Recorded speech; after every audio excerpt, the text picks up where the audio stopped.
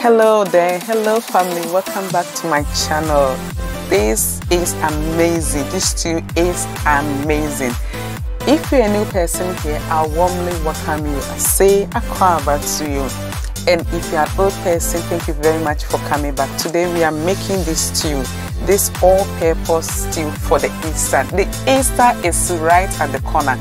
You will love it. This is all-purpose okay? So with this stew we are having some chicken here. This is a full chicken that I have clean, washed, and cut into pieces. And also, this is the um, tomatoes that I'm using. This tomato, pasta tomato that I'm using. You know, that one, it already have some spices in it. And these are the bell peppers that I'm using for my stew. And I also have some um, thick tomatoes here tomato paste that I have this the um, condensed one that I'll be using. I have some curry, curry um, flower leaves here and also some ginger paste that I want to add to my stew. This is the garlic paste I will be adding and some salt to taste. I with this recipe that I'm using, I'm using my own um, spices. These are the um, spices that I'll be blending to add to it. For the spices, you can limit it. Okay, I have some cloves in here. I have some um, widiaba, anise, seed, and all the spices, the rosemary and everything. These are the bay leaves that I'll be adding. For this local spice, I made it on the channel. So if you want to see how I prepare this um, chicken spices, I will link the link below, okay? So you can check for it so this is also made. So i have the recipe here and as i said they are all made by me and you love the spices. I also have um, some onions here that i'll be adding to the stew. This stew is an all-purpose stew so you have it for the season and also oil that we're going to use. So we are going to prepare our chicken here. This is a full chicken that i washed nicely that i'm going to use. So if you don't um, want the full chicken can you decide to use the half chicken or whatever that you you have okay? It's your stew. So i've added the chicken spices to it and um, i'm just going to stir everything nicely. So with the homemade spices um, i will link the link below so you can check for it and you can just decide to maybe add or subtract any of the um, ingredient that you don't like. So I've just added my curry leaves and the ginger to the spices.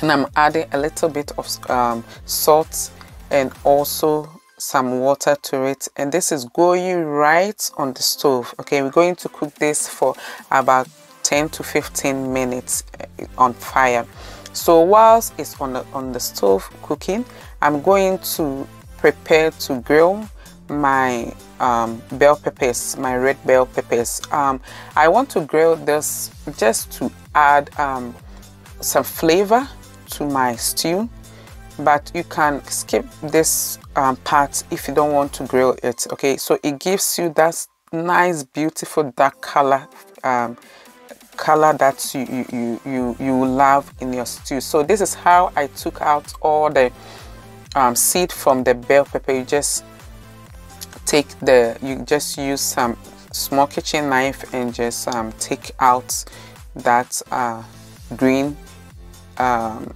leaf in there and all the seed you just pick them out so I'll just take it into the oven and also bake it also for some time for about 15 minutes depending on how high your oven is. So you can see my chicken is already done.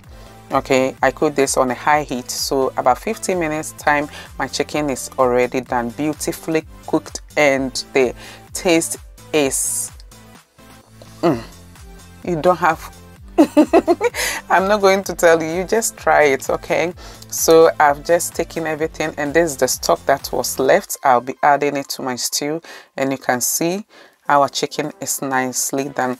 Um, I want to tell you all thank you very much for your support and for all those who have subscribed thank you very much and for sharing the video keep on supporting us I appreciate your help a lot. So i already have the that's the garlic that remained. When i grated the garlic i did not blend it. The garlic that i'll be adding to the stew i did not blend it. So i'm just using the remaining ones to blend with my um, peppers and my um, my natural spices. So with the natural spices you have to be careful with it. When you, you are adding it to it you have to know the amount the quantities because if you add the rosemary the cloves the anise seed and everything together you know if you don't take it it will become a little bit bitter. So please be careful when you are adding all these spices to it. And I'm blending it with my condensed um, tomato paste here because I just want it to be together. That's why I'm just blending it together. And it gives it gives it also nice beautiful color that you see here. So I'm just blending it. Look at this. This very very beautiful. And I like the way um, the texture is. So we're going to use this one to just prepare our stew. And I'm frying my chicken. If you don't want to fry your chicken in the hot oil like this, you can decide to um, either grill it or also um, air fry it. That's perfect. Normally, um, I air fry it, but with this recipe, I decided to grill, um, uh, just fry it in oil. So if you don't want to fry it in oil, just grill it in your oven for maybe 20 minutes or because look at this. This is why I decided to fry it in the oil so you just take it out on a tissue paper to just drain out the excess oil for health reasons. But if you are concerned with the oil please do use the air fryer. I use it a lot and i like it. I love it. I'll be posting some recipes on, on, on my channel how i use the air fryer to prepare my healthy foods okay? So i have some olive oil on fire here and i'm just adding my blended tomatoes and all the other ingredients in right now. So with this recipe you can serve your, your, your stew with rice. So this is a one-stop stew for the easter break okay? So you don't need to prepare um, stew for your yam your rice your plantain. Just this is a one-stop stew okay? So you just prepare this one and it can serve you for the rest of the season. Okay for the easter season it can really serve you. I love this too okay? And if you take your time to prepare it you can prepare it in a very large quantity and you can use it to serve your white rice or your um your cassava. Even if you want to serve it with your cassava you can serve it or your plantain or yam or even boiled um, potatoes okay?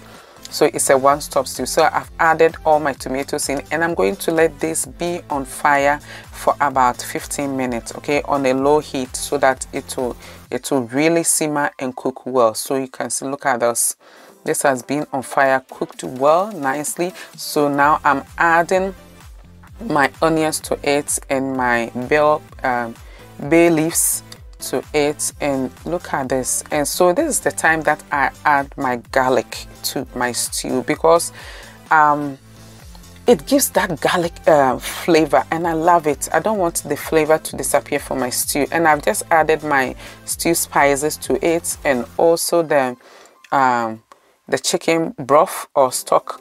I've added it to it and I'm just going to allow it to simmer for about five minutes okay because just for the onions and I added the onions to it later also because I want the onions flavor in my stew. Whether I'm serving it with yam or rice or whatever.